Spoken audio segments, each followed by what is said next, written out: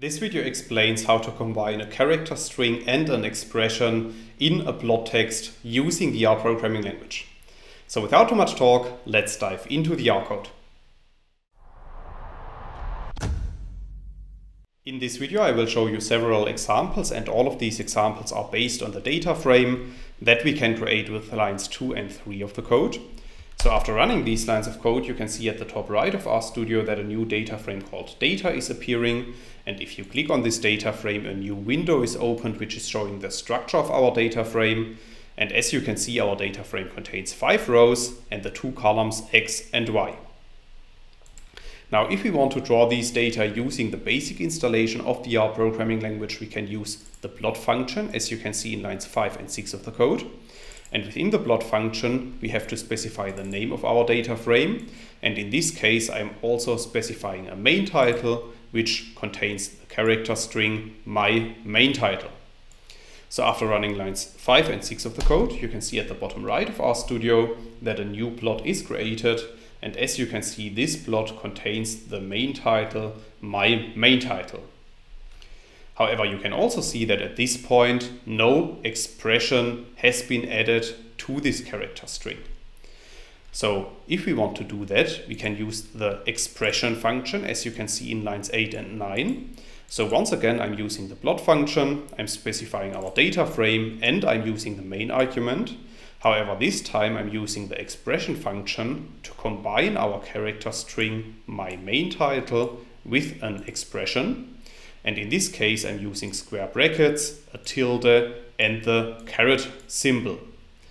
So after running lines 8 and 9 of the code, you can see how the output of these lines looks like. So as you can see, our main title, my main title, is still shown at the top of our plot. However, with the square brackets, we have specified that we want to show the text within the square brackets at a lower position.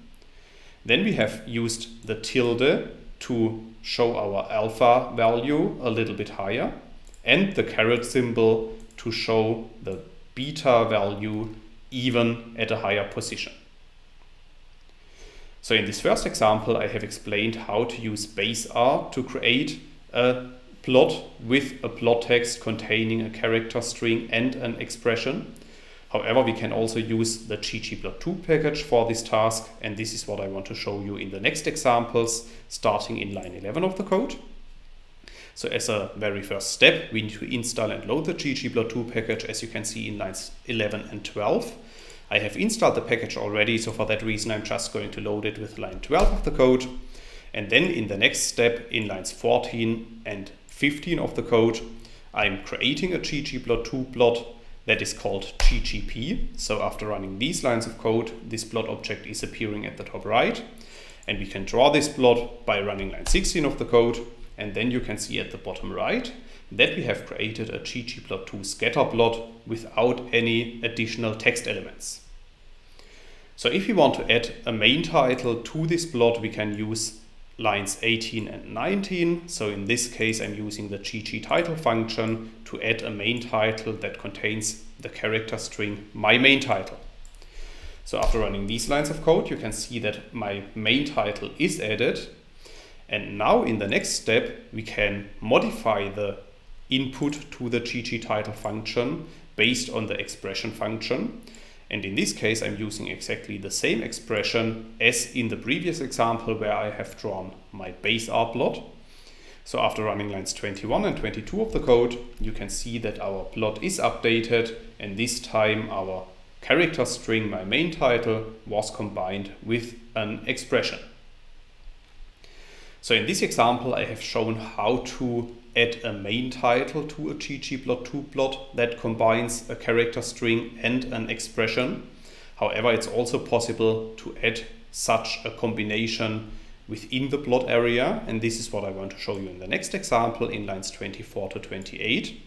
So in this case, I'm adding the annotate function to our plot object. And within the annotate function, I'm specifying that I want to add some text. I'm specifying the coordinates of this text and I'm specifying the label argument and I'm setting this argument to be equal to our combination of our character string. So in this case, I'm using my text and our expression. So after running lines 24 to 28 of the code, you can see that our plot is updated once again, and this time our character string that is combined with an expression is shown within the plot area. And now in the last lines of code, I want to show you that we can even modify the style of this text. So in this case, I'm adding a color, which should be red, and I'm increasing the size of this text.